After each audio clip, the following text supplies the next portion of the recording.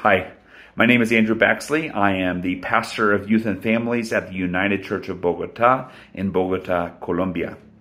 The person of Jesus studies have deeply impacted how I view Jesus, taking him from the realm of ideas and abstraction and systematics and giving him real flesh and bones in my mind.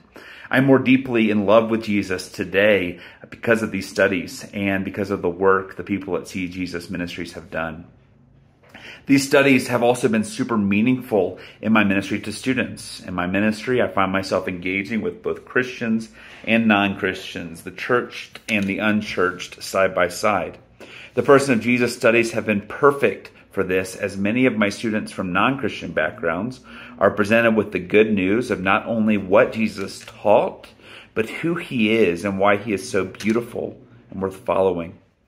I've also seen Christian students likewise engage with Jesus on a whole new level, uh, becoming more personal and deeper in their relationship with Jesus as they themselves fall in love with God made flesh who dwelt among us. Not only is the ministry of See Jesus um, strategic and effective, but Robert himself is deeply in love with Jesus and contagiously shares this love and passion with all he comes in contact with, uh, me included. If you are looking to make a powerful and wise investment for the kingdom, I would encourage you to invest in Robert Rowe and See Jesus Ministries.